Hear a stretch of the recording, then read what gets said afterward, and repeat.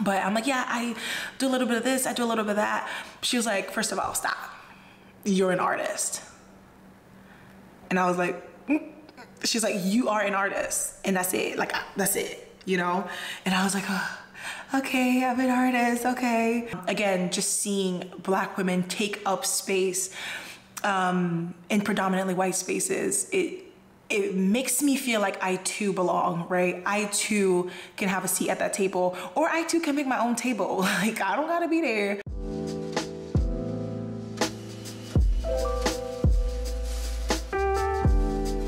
Hello, and thank you so much for stopping by today. I hope you are having a wonderful day. I hope, you know, things are running smoothly for you. Um, okay, before I even start, I just want to premise this by saying that like this is not scripted. This is just like a train of thought, and um, I just wanted to share with you guys because I'm like I be having these reflections. I'm in my feelings. Um, a lot of things are happening. A lot of things are like turning around in my life for me, um, and for people that inspire me. People are winning. It's just like life is great right now. So I just was like, you know, I want to talk about this. I want to talk about it. This morning while I was driving in, I was just thinking about like black women, right? I'm thinking about representation. I'm thinking about black women in, in predominantly white spaces and just how dope that is and how groundbreaking it is and just how much representation matters. And today we're gonna specifically talk about um, the arts. But like we have like a, a, black woman as like a vice president right now, you know what I mean? So like a little black girl before could be like, yeah, I'm gonna be vice president one day and maybe, you know, hold on to that conviction and, you know, God will open that door. But to now, it just, now it just feels much more tangible. And I think that I've been having these kind of moments where like I used to think that like, oh my gosh, I'm, you know, I'm dreaming big. I'm like, okay, God, I want to do this. Oh God, I want to do that. And it's a, a, predominantly white space. And I'm like, but I'm to be there, right? I'm to have my seat at the table, if you will. Um, but like when I see that a black woman is doing it, I'm like, oh my God, it just feels, I don't know. I hope it makes sense. It just, it feels much more tangible. The reason why I'm having this super introspective moment is because of a filmmaker and digital creator here on YouTube named Hallease. So I've kind of like, I followed the trajectory of her YouTube career. And um, a, a, few days ago, she announced that she um, was selected as an Adobe Creative Resident. So today is a big day, real big day. This channel is gonna get revamped. I am also getting a revamp. And so to celebrate, I'm gonna try to create some new headshots, some new portraits of myself because when you find out that you're an Adobe Creative Resident, you, you gotta change a few things up. You gotta switch some stuff up. But I do need to get a few things, so let's get into this. And tell me why I'm literally like crying, like it happened to me. I'm like, oh my gosh, we did it. we did it. But like, this is something that I'm aspiring towards, right? I'm giving myself three to four years to to build up a worthwhile portfolio to be able to, you know, truthfully pitch myself and be like, Adobe, what's good? Um, but to see that a black woman is like doing it. And obviously she's not the first like black woman to be like an Adobe Creative resident. Last year, one of the residents last year, her name is like Christina, I believe. Super dope, her work. She does like photography and, and um, her work is just like the symbolism behind it super duper dope. But like this is somebody that like, you know what I'm saying? Like I've been watching her on YouTube forever and now she's doing this thing, right? And she, and her work is valued and um, she's she's just giving the resources and the time and the mentorship and the connection to, to do something super duper dope. Again, this is something that I want to do in three or four years, but seeing somebody that I look up to doing it now, I'm like, wow, like that's so cool.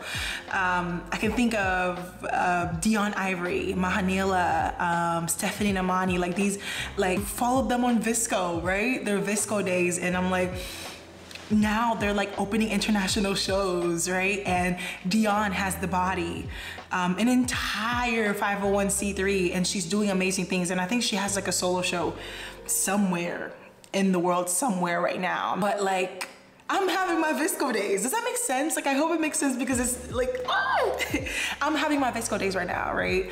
So where am I gonna be in three, four, five, ten years, you know?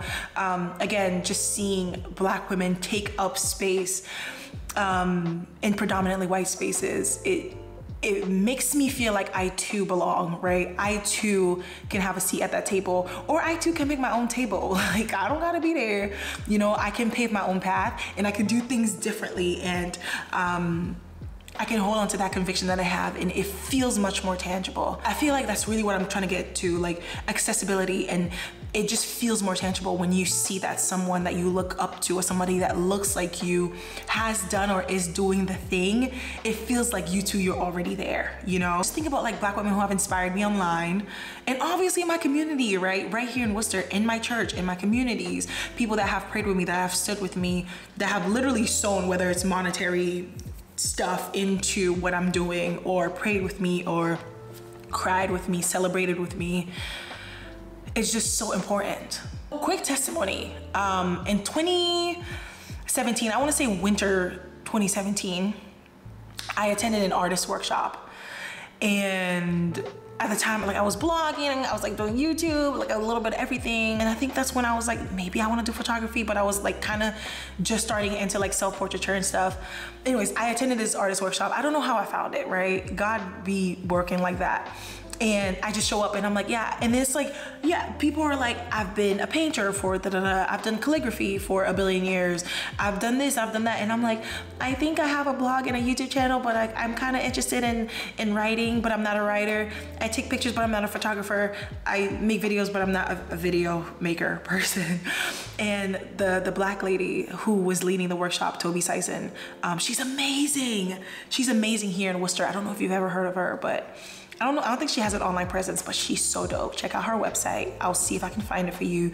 But she is an amazing artist. She's done countless lectures. She's had, um, I mean, countless solo shows. She has pieces that are part of permanent collections in museums here in Worcester and around Massachusetts, I don't know, around the US, around the world, I don't know. But anyway, she's amazing, right? And here I am at this workshop. This woman has never seen my work because I didn't bring a sample of anything. I just showed up like, is this free? Okay, I'm here. she didn't see my work. She doesn't, she didn't see what I'm doing. I don't know, I don't know, she, I don't know what she saw. But I'm like, yeah, I do a little bit of this, I do a little bit of that. She was like, first of all, stop. You're an artist. And I was like, mm she's like, you are an artist and that's it. Like, uh, that's it, you know? And I was like, oh, okay, I'm an artist, okay. And I needed that. I needed this black woman to check me. you know and this is something i still struggle with right the title and it feels like it just bears so much weight but for somebody to affirm me without even seeing my work and that was at a time when i didn't know what i was doing right at that workshop i was like okay then like let me see if i can make a connection and then I like pitched myself to the program manager and then summer 2018, I was at Arts Worcester um, as a marketing summer intern. But it really started out because this black woman was like, no, you're super dope. I don't see your work. I don't know what you do, but you seems like you got you seem like you got something going for you, you know. And then and then that's when well during my time at Arts Worcester, like it was that word that you know reaffirmed me again, and like I was part of their shows, right? I did a few shows, even if I was printing it at Walgreens. I had my face on the wall, like my unkempt edges on the wall um, on a few shows. Me being part of, um, what's it called? Ah, what's it called? I don't remember what it was called. Call and response.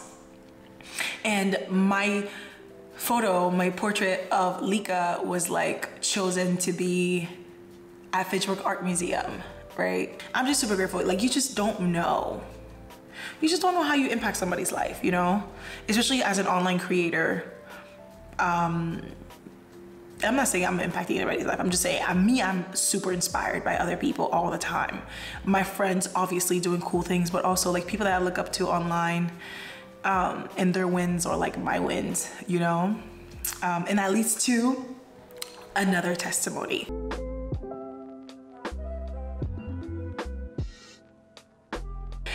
There's another artist that I follow on Instagram. Her name is Nastassjah. I should have pulled it up but she does like amazing textile work.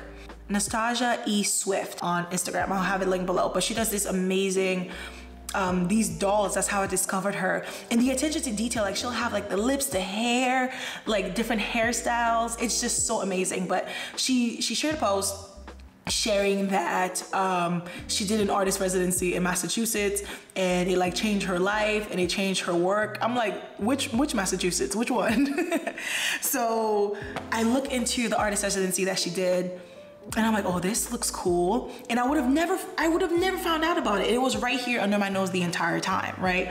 So I go on their website and I saw that their application for 2021 would open in two weeks. That was back in March. Um, and I was like, she did it, so I can too. You know, like it's that simple. It's magical. Black girl magic. And it wasn't like, I'm gonna apply for this artist residency because I got the talent, I got a portfolio, and they're gonna accept me, period. But it was like somebody that looks like me did this, right? And she was welcome, she was invited, she got a seat at the table. Maybe I can try and see, you know, who knows what can happen.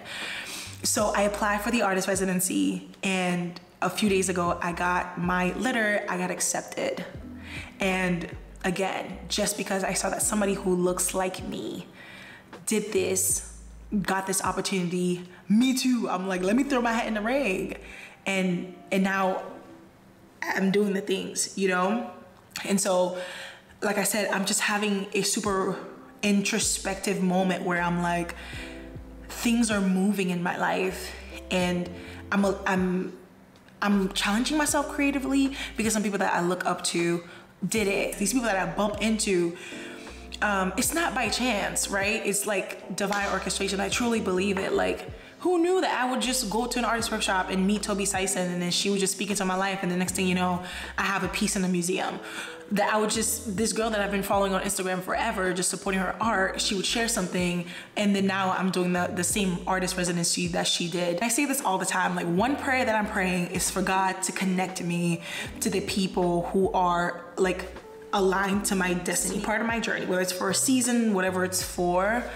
And I feel like that. I feel like that with Hallease. She don't know me, she's online, but watching her inspires me. Deun, Mahaneela, Stephanie, Adrian, um, Toby, Nastassjah, Christina, like Evelyn, all these people, I'm just inspired I'm just inspired. This was supposed to be about like black women in representation and I hope I hope I did it justice because my thoughts are all over the place, but I'm just super grateful for I'm, I do not know what I'm grateful for.